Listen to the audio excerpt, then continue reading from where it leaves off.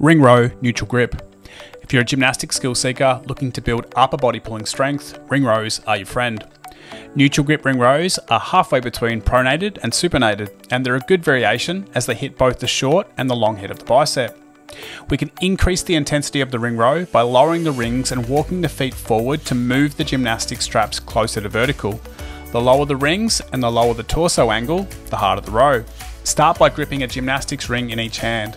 Lie back and position the feet so the torso angle is at a level that allows you to complete the required reps at the specified tempo with good form.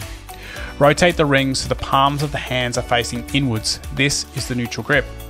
Set a posterior pelvic tilt, PPT, by contracting the glutes and tucking your tailbone between your legs.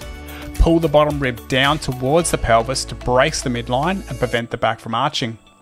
Initiate the row by depressing and retracting the shoulders before bending the elbows. You must keep the arms straight as you pinch the shoulder blades together behind your back and pull them down towards your back pockets. Do not allow the shoulders to shrug up during the exercise.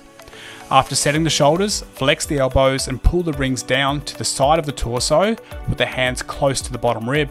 The upper arms will be roughly 45 degrees away from the torso.